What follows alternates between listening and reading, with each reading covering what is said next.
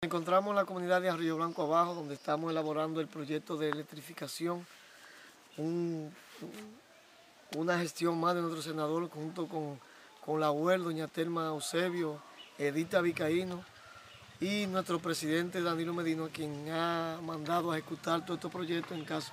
Ya estuvimos ahí en Agua Clara, en Montellano, Estancia Vieja, Cordero, Pastor, en la semana, hace 15 días estuvimos en, el Dajado, donde estábamos inaugurando la hidroeléctrica y también inauguramos junto a la hidroeléctrica del Dajado la parte que nos hacía falta de la vereda.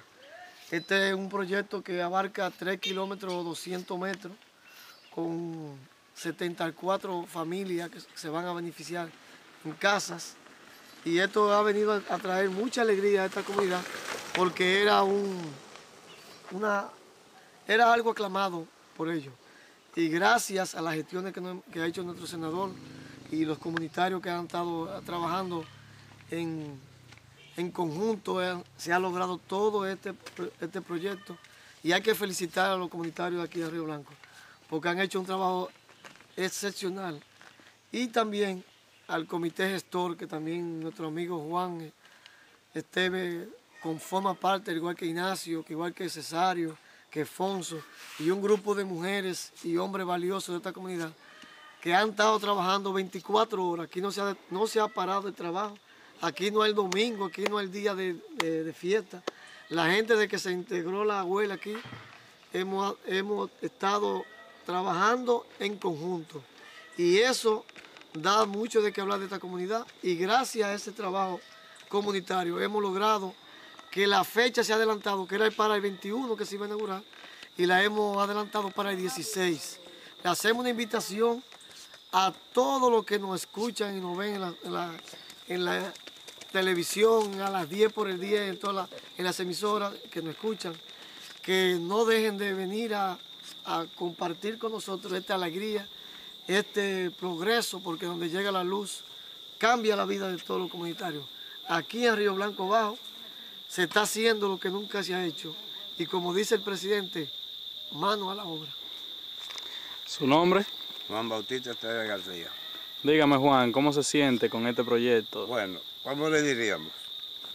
Estamos bastante alegres. Eh, esta es una gestión que nosotros como Comité Pro Desarrollo de Arroyo Blanco hemos venido tratando de que se nos hiciera. Tenemos ya alrededor de un año y medio luchando por ella y ya gracias a Dios al presidente, al senador Gary, quien fue que desde que nosotros le planteamos la necesidad de este proyecto nos dijo, ese proyecto yo lo tengo, ese proyecto va. Gracias a Dios ya nosotros tenemos, nosotros tenemos ya hoy nueve días que iniciamos las labores y aquí no se ha quedado un hombre en su casa, no se ha quedado un joven, Quiero aprovechar para felicitar a la juventud de este sector, que todos, todos están totalmente entregados a la obra. Las mujeres, las que no están cocinando para los que están trabajando, están llevando agua, que están llevando café, que ya están llevando de jugo a los que estamos trabajando. Desde que nosotros tenemos este proyecto. Y cuando se nos dijo el viernes el proyecto se había adelantado la inauguración, entonces fue cuando más la juventud se integró a trabajar. Si nosotros hubiésemos tenido marcado trabajo el sábado, todo había quedado listo, porque el sábado había un entusiasmo enorme. Y no es que no el entusiasmo no está, estamos trabajando los jóvenes están integrados.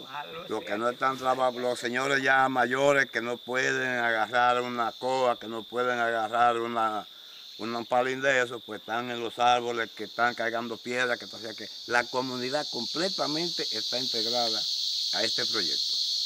Y nosotros, gracias a doña Telma, licenciada Telma, hay una ingeniera que a mí se me escapa el Vicaíno. Edicta Vicaíno, que también ha contribuido bastante para este proyecto, pero sobre todo el esfuerzo que ha hecho el señor senador de nuestra provincia detrás de este proyecto.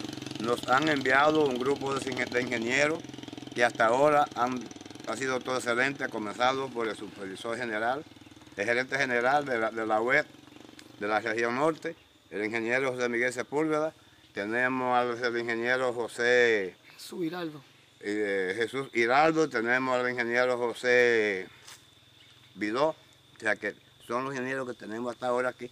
Hay un ingeniero que no sé cómo se llama porque no he hablado con él, que son los que están haciendo la interconexión de las casas. Eso es otra cosa que además decirte, Sarito, que hemos logrado que todas las casas sean electrificadas también por dentro. Esto es un regalo más y una gestión más que nosotros hemos hecho con nuestra amiga Edita Vicaíno, que nos ha facilitado la- que se intervenga toda la casa, porque ese es un gasto por lo menos que la gente de los comunitarios iba a tener y gracias a esa gestión que hizo el senador, que hemos hecho nosotros con las amistades que tenemos con Edita, le hemos evitado ese gasto.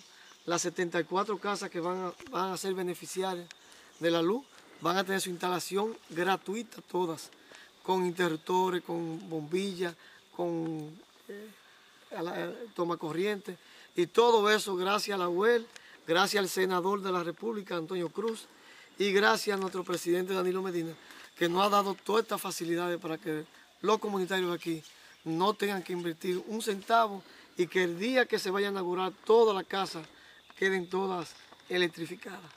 Te quería agregarte, Gary, que de todas las gestiones que se han hecho, debemos de mencionar al presidente del comité, el ingeniero Ramón Ignacio Báez, al secretario de organización, Alfonso Pérez, que es de esta comunidad, a la licenciada Fátima Valerio, que es la secretaria de Cultura del comité, Juancito, eh, Rafaelito, Adolfo, todos esos son muchachos que son integrantes de aquí y que pertenecen al comité.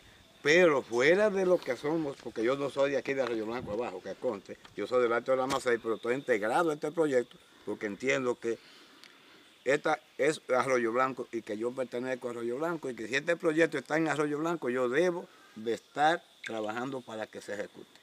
O sea que hay unos cuantos compañeros más que, que están acá, que no han dejado tampoco de trabajar, como son el Mocano, Doña Ana, Silvia, Tomás, que fueron los primeros que comenzaron a cortar los árboles. O sea que un grupo de comunitarios que no son de esta comunidad, o sea, de este sector, pero que son de Arroyo Blanco, se han agregado a nosotros para que este proyecto se vaya rindiendo. Gary decía que estábamos atrasados el viernes, pero cuando vino el domingo se sorprendió con el trabajo que encontró. Sí, pues es lo importante, por lo menos las reuniones, el, el- apoyo que hemos tenido y eso creo, y eso es lo que le da el valor a que los proyectos avancen donde están.